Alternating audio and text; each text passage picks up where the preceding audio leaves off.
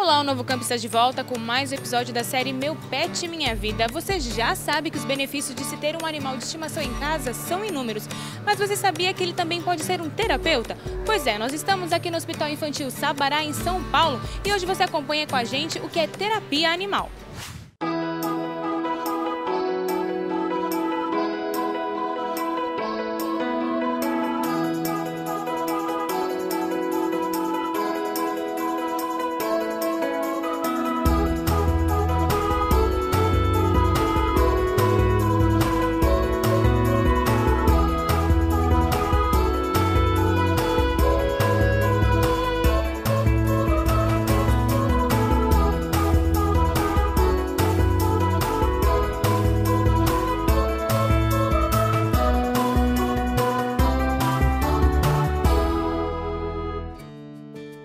Não estranhe se por acaso escutar latidos em hospitais ou se deparar com a visita em massa de animais em escolas, consultórios médicos e instituições que cuidam de idosos.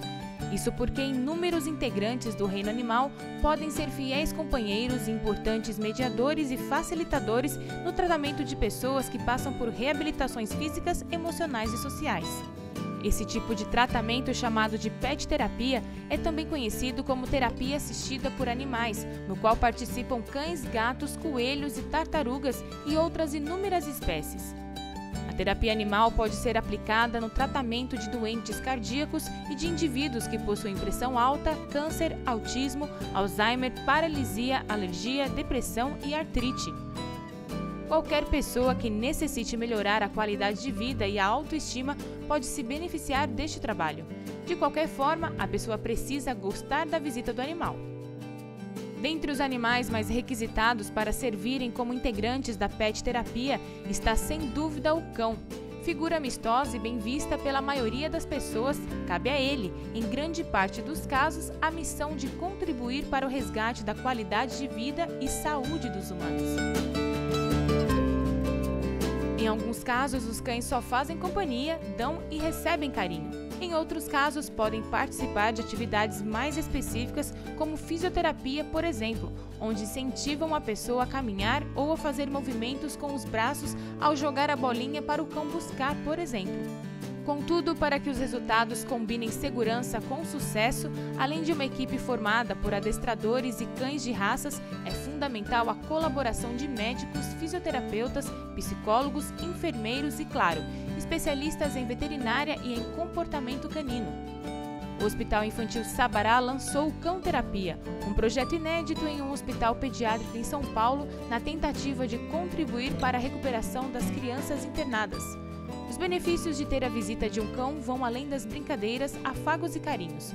Muitas vezes, a presença do animal ajuda a criança a se socializar e se tornar mais receptiva ao ambiente hospitalar. A terapia assistida por animais já é realizada em vários países e tem comprovado que os bichos colaboram muito no tratamento de doenças, auxiliando na recuperação de pacientes. Esse trabalho tem sido implantado também no Brasil. Ao total, nove cães participam das visitas que ocorrem semanalmente no Hospital Infantil Sabará na forma de revezamento. Todos têm a documentação necessária e preenchem os requisitos de higiene e de saúde exigidos pelo protocolo aprovado mundialmente, ou seja, estão vacinados, vermifugados, realizam exames de fezes regularmente e têm atestado de saúde da veterinária do projeto. Além disso, fazem parte a escovação dos dentes regular e banho no dia da visita. Todas as crianças internadas nos quartos, desde que não apresentem nenhuma restrição médica, recebem a visita dos cães. Essa é a Margot, uma boxer de 9 anos treinada pela própria dona. E essa é a Maria, de raça não definida, mas que adora o contato humano. As duas são as voluntárias de hoje que proporcionarão momentos de alegria para a criançada. Após as duas terem um momento para se conhecerem, é a hora de fazer a higiene das patas. Afinal, num hospital, todo cuidado é pouco. Exatamente. Então a gente, a gente garante que todo paciente, que a gente não submeta nenhum paciente a risco e que eles possam é, desfrutar da companhia dos cachorros.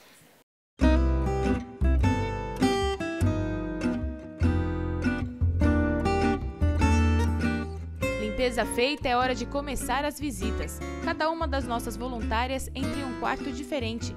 A intenção é conseguir visitar todos os pacientes possíveis.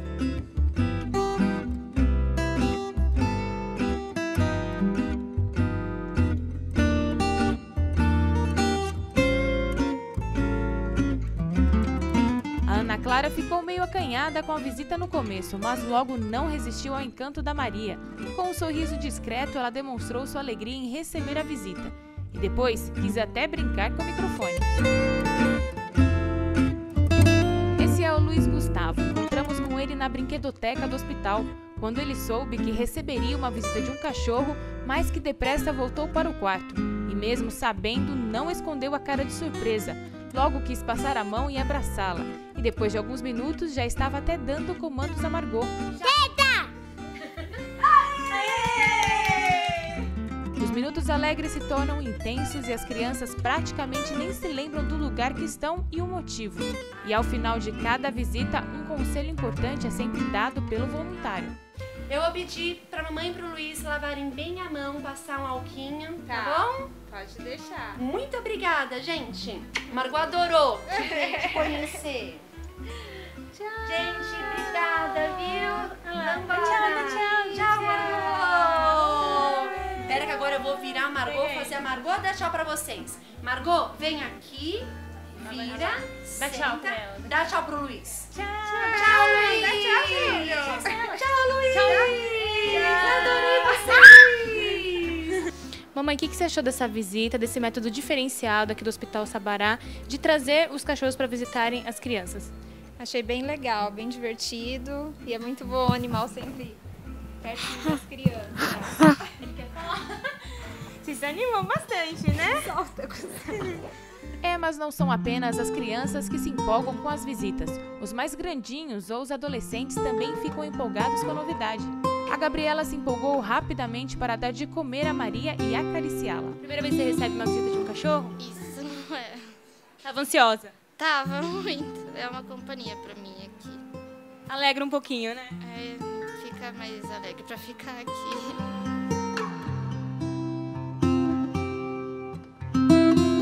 Visitação é um sucesso em cada quarto que se entra. São diversas as reações das crianças, mas todas são vistas positivamente. E a diretora do hospital nos fala de onde surgiu essa ideia. Na verdade, tudo isso começou numa reunião aqui no Hospital Sabará do grupo de humanização. E a gente estava querendo entender como que a gente ia atingir mais as crianças mais novas, que são mais difíceis, né, de 0 a 3 anos. Como que a gente ia entreter e puxar elas para mais para perto.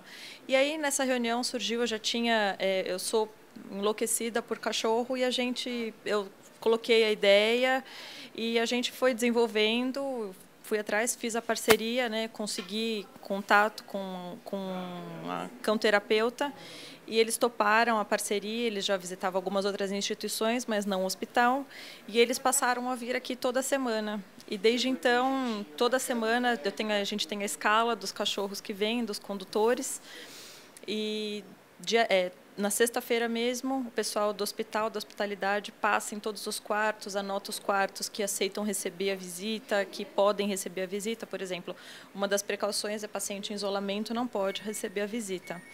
É, então, a gente já sabe, quando começa a visita, que pacientes que vão receber e se topam ou não, se gostam, e cada vez é uma interação diferente. Então, desde abril, isso está acontecendo.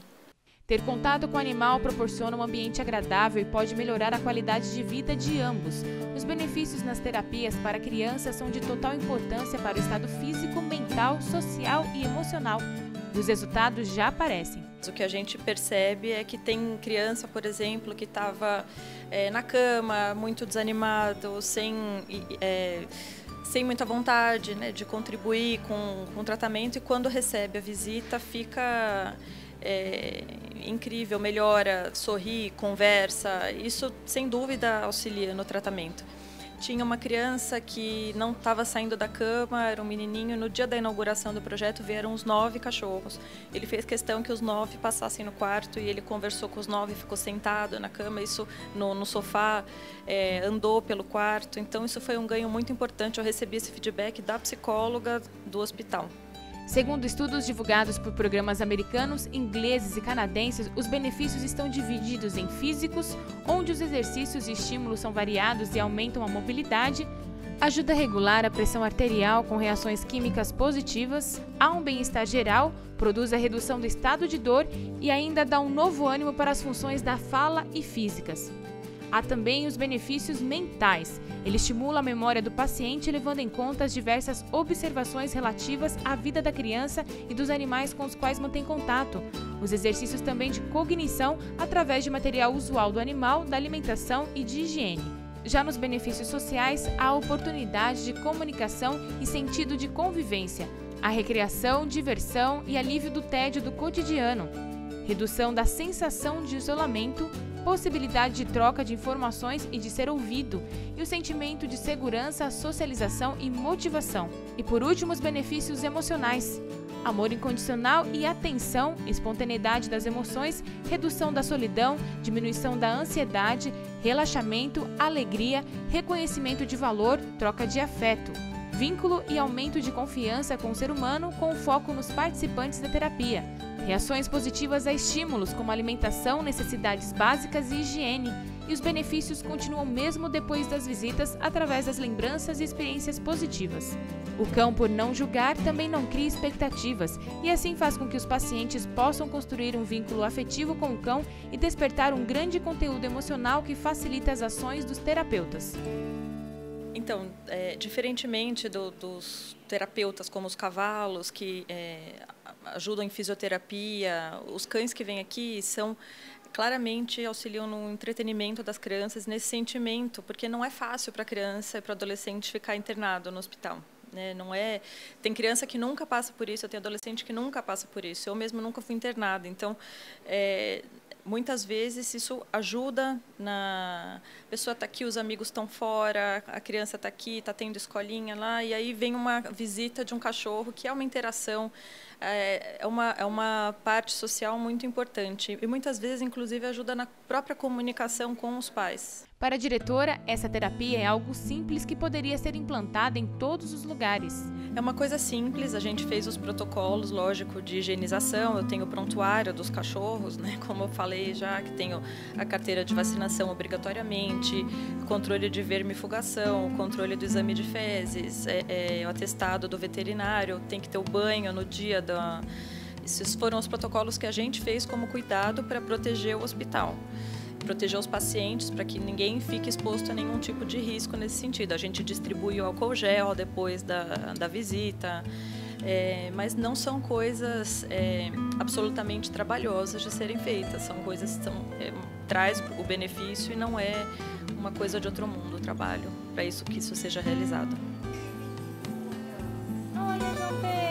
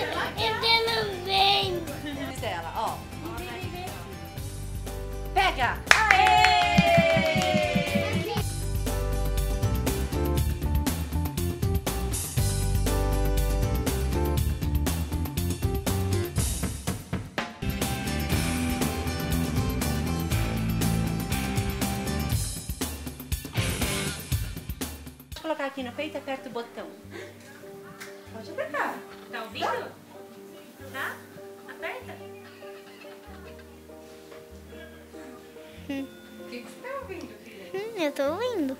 Tá ouvindo? Ela tá bem? Você acha que ela tá muito bem ou mais ou menos bem? Muito bem. Muito bem? Ah, então vai ter que dar injeção nela? Tem que dar? Tem que dar injeção. Você tem coragem? Você tem coragem de dar injeção nela? Ai, meu Deus. Tá, então segura a injeção. Eu não vou dar. Eu tenho medo. Eu não dou. Vem cá, Margot. Peraí, deixa eu fazer o seguinte. Você vai dar injeção aonde? É no bumbum que se dá, né? Hum. Então, pera lá. Tenta dar injeção nela. Vai, não vou olhar, vai. Ai! Oh, que estava balançando!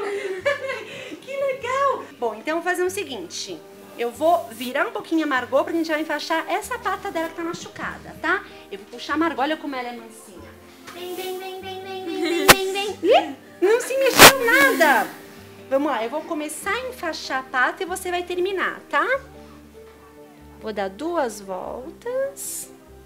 Pronto, pode terminar. Até acabar. Aí já pode ser médica já. Já sabe enfaixar. Vamos tacar. Ai, meu Deus! Ela se mexeu! Deita, Margot! Isso! Não! Ai, é que eu tô com. Acho que é comida. Que doidona! Deixa eu mostrar pra ela. Ó, não é comida, é band-aid. Ai, que legal! Acabou. Você me ajuda com o adesivinho agora? Só pra fechar bem, pra não ter nenhum problema pro curativo não sair. Tó. Pode colar bem. Peraí que eu te ajudo. Peraí, que onde a faixa acabou. Isso. Peraí, que deu um nó aqui. Pronto, pode colar bem aqui. Acho que você... Fica Deita. Aí, Margot, muito legal. Agora eu vou querer colar um no seu braço, posso? Igual da Margot. Pode ser? Vamos lá, então você também vai merecer um. Hum, onde você quer que eu colo? Nessa mão ou naquela mão? Nessa aqui. Pronto, vamos fazer as duas juntas, quer ver? Então, Margot, deixa eu ver se ficou bonitinho. Põe a mão aqui do lado dela. Ai, que linda! Deixa eu tirar uma foto, peraí.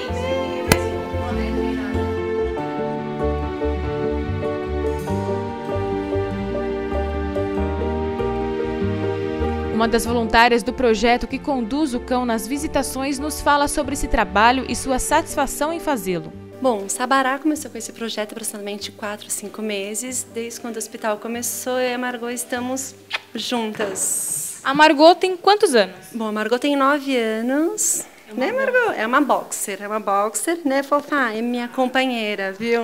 Você é uma, uma adestradora. Você mesma treinou a Margot para fazer essas visitações? Sim, eu sou adestradora, eu me treinei a Margot, treino o tempo todo com crianças, disponibilizando várias coisas. Eu mesmo que treinei, né, Margot? A gente viu também que nas visitações vocês sempre trazem um kitzinho básico na bolsa. o que, que você tem aqui? Pois é. Bom, na verdade, eu trago alguns objetos, alguns utensílios para a criança interagir com o animal, né? Então, eu poderia chegar no quarto da criança só com uma raçãozinha, um petisquinho, mas eu trago uma escova. Eu posso mostrar para vocês, caso tenham interesse. Vamos lá? Então, tá bom. Peraí, Margot, eu vou pedir para Margot ficar só um pouquinho no chão. Vem cá, Margot. Opa! Senta, senta aí, meu.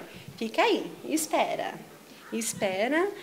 Bom, primeira coisa, eu tenho um limpador de patas, tá? Limpo o bumbum antes de chegar no hospital, eu dei uma volta com ela para limpar. Então, isso na bolsa não pode faltar.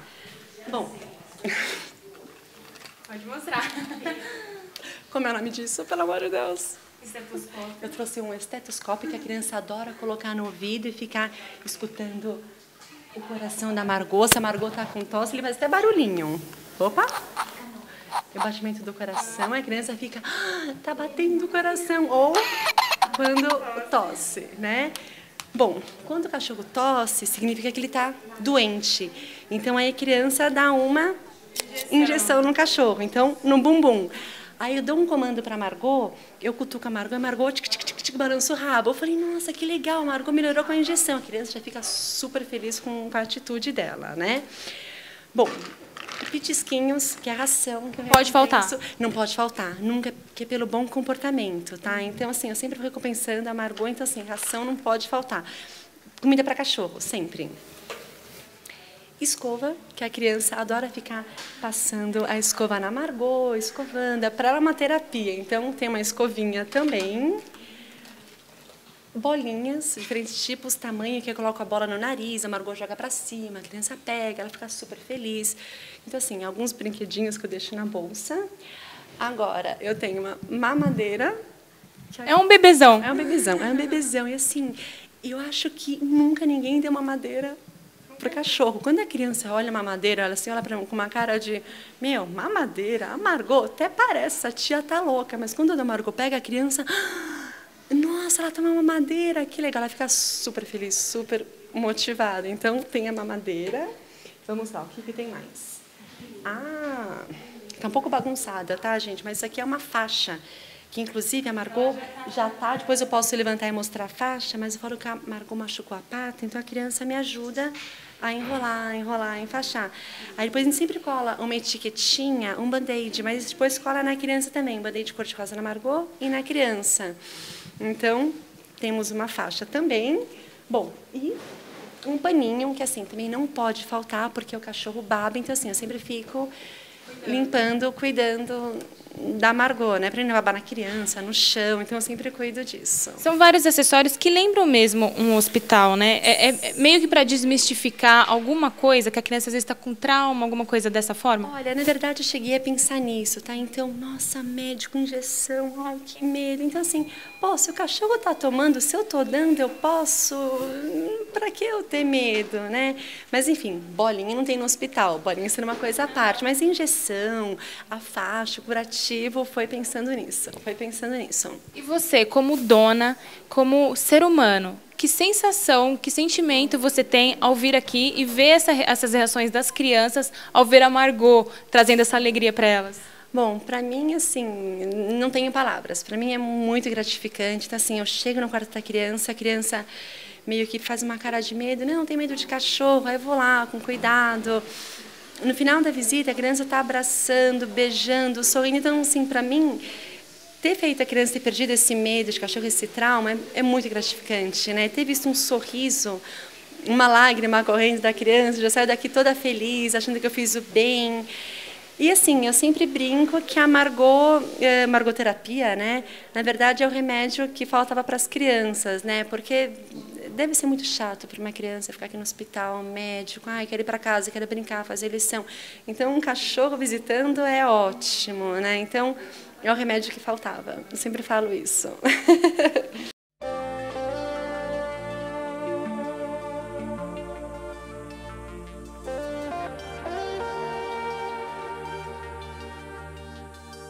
Para garantir o bem-estar dos pacientes e do próprio cão, ele recebe um treinamento especial realizado pela equipe de profissionais da cão-terapeuta, durante o qual o animal aprende a se comportar de maneira sutil e terna e a fazer alguns truques para divertir as pessoas que recebem a visita.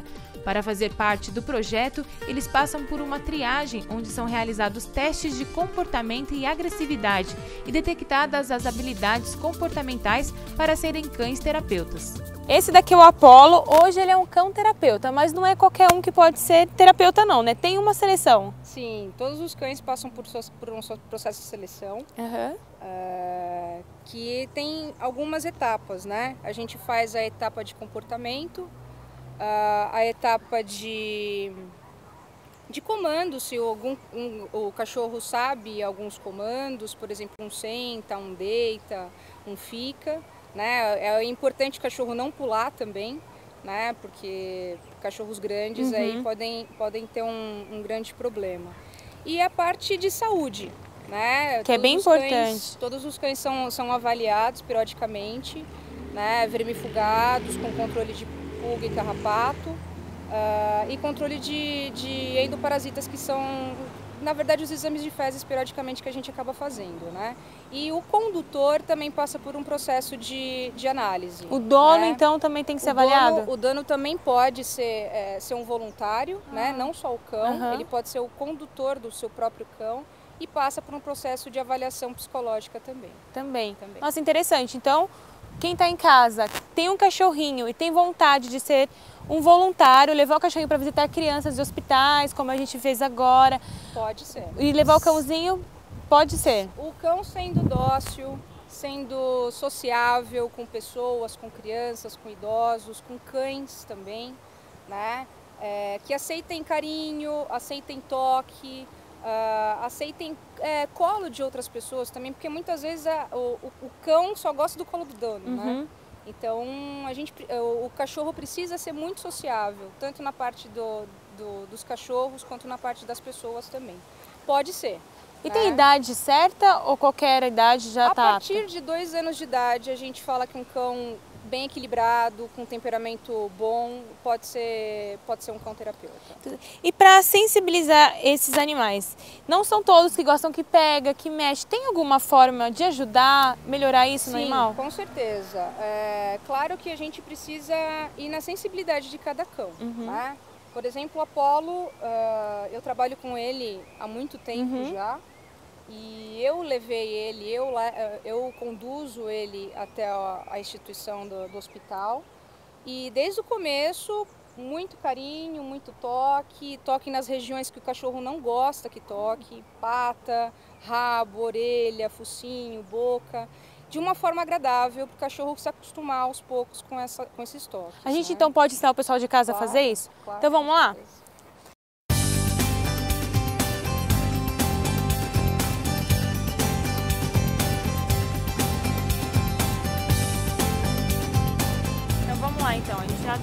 Aqui para dar uma calmadinha. Isso. Bom, eu tenho uma escova, né?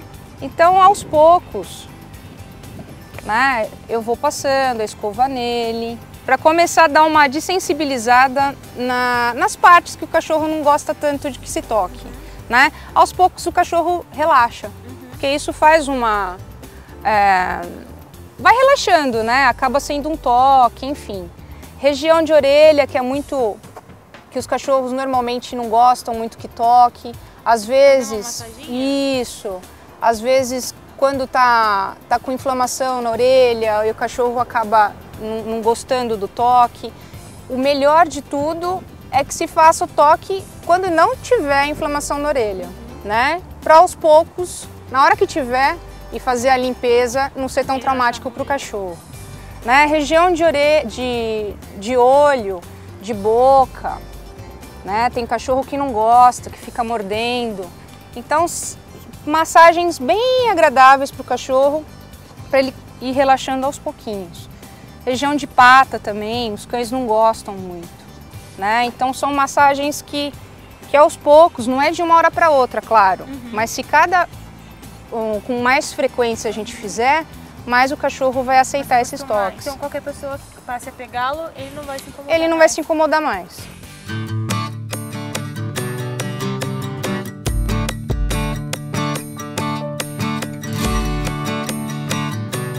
O Novo Campo vai ficando por aqui. Hoje você acompanhou mais um episódio da série Meu Pet Minha Vida.